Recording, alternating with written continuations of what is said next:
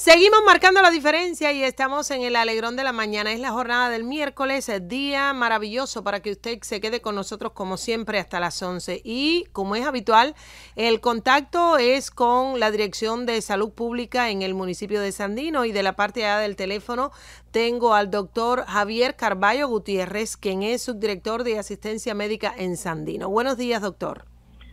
Buenos días, Noemí. También muy buenos días para todos los compañeros que nos escuchan en este programa de hoy y también para todos los que están contigo ahí en la cabina.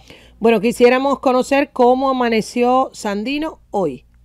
Bien, Sandino hoy amanece con cero casos, no tenemos casos ninguno confirmado la enfermedad para esta jornada. Pero eh, en los próximos días, sí, ya para hoy, quizás en el día de mañana, estaremos entonces recibiendo parte de algunos PCR que tenemos por confirmar, que lo daremos entonces al final de esta de este parte que voy a dar ahora. Bien, bueno, eh, como dije anteriormente, cero casos confirmados para hoy. Estamos acumulando 52 pacientes en lo que va de año. Cinco de ellos son importados. Ya 43 personas están en sus casas eh, con alta clínica. Tenemos en Pinar Río nada más que nueve personas, todos con buena evolución clínica y ninguno reportado de grave. Hemos tenido en el año 19 focos, 11 cerrados, 8 abiertos, 8 que de ellos 4 se cierran el día de mañana, que son aquí en Sandino 1, 2 en el Consejo Popular de las Martinas y uno en el Consejo Popular de Manuel Lazo. Una tasa Noemí eh, todavía alta, 74.3 de tasa de incidencia, con 27 casos confirmados en los últimos 15 días. Ahora, ¿dónde está la situación más preocupante en el municipio? Bueno, acá en Villa Bolívar. Villa Bolívar, hoy estamos eh, esperando por confirmar eh, la positividad del PCR en cuatro personas, todos allí mismo de Villa Bolívar, del, del foco que está ahí abierto en este momento.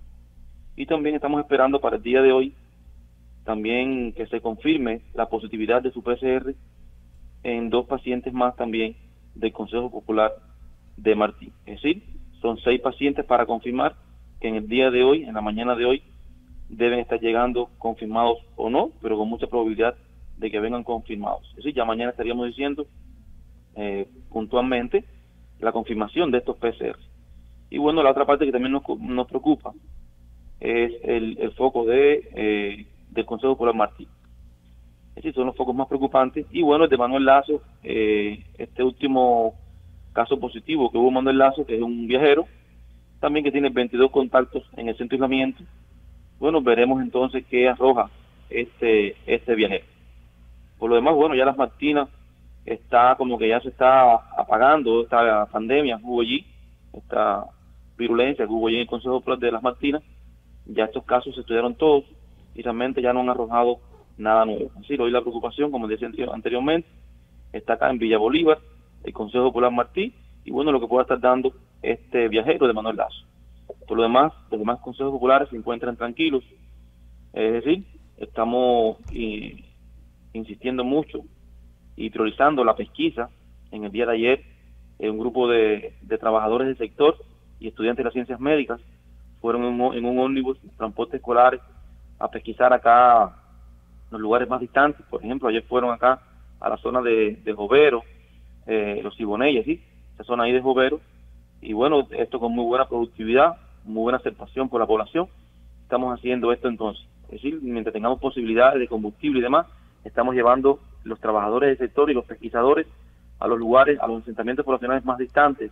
Por ejemplo, Batay Bolívar, acá a la zona de Blanquizales, sí, de estos lugares donde realmente el equipo básico de, salud, es decir, el médico del consultorio y la enfermera, eh, se les dificulta mucho ir allí todos los días, o al menos un día sí un día no.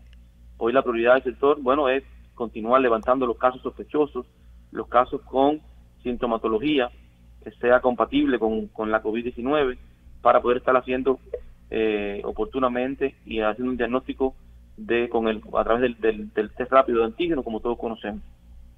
Entonces, Noemí, bueno, ya todos los, casos que han salido anteriormente, todos los rápidos positivos, todo el mundo está aislado en el centro de aislamiento, no tenemos hoy nada que recoger, no tenemos atrasos en los PCR y bueno, ya, la actividad hoy es seguirnos cuidando, seguirnos protegiendo y bueno, a ver cómo sale esta semana, lo que queda de semana y ya daría paso entonces a, a ver cómo se mantiene entonces la tasa de incidencia para la próxima semana. Es decir, una semana muy crucial, muy importante, donde las medidas que tomemos realmente nos darían eh, al traste con, resultados de trabajo para la semana que sigue. Bueno, pues muchísimas gracias al doctor Javier Carballo. Hoy amanecimos con cero casos positivos a la COVID-19. 52 en lo que va de año, 5 son importados y 43 casos ya están en sus casas. 9 están en Pinar sin peligro para la vida.